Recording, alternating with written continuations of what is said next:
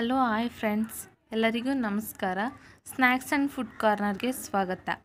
ಇವತ್ತಿನ ರೆಸಿಪಿ ಏನಪ್ಪ ಅಂದರೆ ಕರ್ಬುಜನಿನ ಜ್ಯೂಸ್ ಕರ್ಬುಜನಿನ ಜ್ಯೂಸ್ ಮಾಡೋಕ್ಕೆ ಏನೇನು ಬೇಕು ನೋಡೋಣ ಬನ್ನಿ. ಎರಡು ಕರ್ಬೂಜ ತಗೊಂಡು ಅದನ್ನು ಕಟ್ ಮಾಡಿ ಇಟ್ಕೊಂಡಿದ್ದೀನಿ. ಒಂದು ಕಪ್ಪಾಗುವಷ್ಟು ಸಕ್ಕರೆ ತಗೊಂಡಿದ್ದೀನಿ. ಬಾದಾಮಿ, ಗೋಡಂಬಿ ತಗೊಂಡಿದ್ದೀನಿ. ಐದಾರು ಏಲಕ್ಕಿ ತಗೊಂಡಿದ್ದೀನಿ. ಒಂದು ಆರು ಐಸ್ ಕ್ಯೂಬ್ ತಗೊಂಡಿದ್ದೀನಿ. ಹಾಲನ್ನ ಕಾಯಿಸಿ, ಆರಿಸಿ ಇಟ್ಕೊಂಡಿದ್ದೀನಿ. ಇವಾಗ ಮಾಡೋದು ಹೇಗೆ ಅಂತ ನೋಡೋಣ, ಬನ್ನಿ. ಒಂದು ಮಿಕ್ಸಿ ಜಾರ್ ತಗೊಂಡು ಅದಕ್ಕೆ ಕಟ್ ಮಾಡ್ಕೊಂಡಿರೋಂಥ ಕರ್ಬೂಜನ್ನೆಲ್ಲ ಹಾಕೊಳ್ಳೋಣ.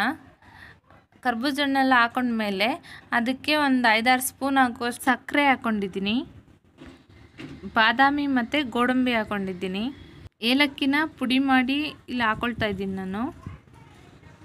ನೆಕ್ಸ್ಟು ರುಬ್ಬಕ್ಕೆ ಬೇಕಾಗಿರೋಷ್ಟು ಹಾಲು ಹಾಕ್ಕೊಂಡು ಇದನ್ನ ಚೆನ್ನಾಗಿ ನೈಸಾಗಿ ರುಬ್ಕೊಳ್ಳೋಣ. ರುಬ್ಬಾಗಿದೆ ಈ ಥರ ರುಬ್ಕೋಬೇಕು. ನೆಕ್ಸ್ಟ್ ನೀವು ಎಕ್ಸ್ಟ್ರಾ ಸರ್ವ್ ಮಾಡ್ಕೊಳ್ಳೋದಿದ್ರೆ ಕಾಯಿ ಸಾರಿಸಿ ಇಟ್ಕೊಂಡಿರ್ತೀರಲ್ಲ ಹಾಲು, ಅದನ್ನು ಹಾಕ್ಕೊಂಡು ಮಿಕ್ಸ್ ಮಾಡಿಕೊಂಡು ಸರ್ವ್ ಮಾಡ್ಕೊಳ್ಳಿ ನೀವು. ನಾನಿಲ್ಲಿ ಟೂ ಗ್ಲಾಸ್ ಆಗೋ ಜ್ಯೂಸ್ ಮಾಡಿದ್ದೀನಿ.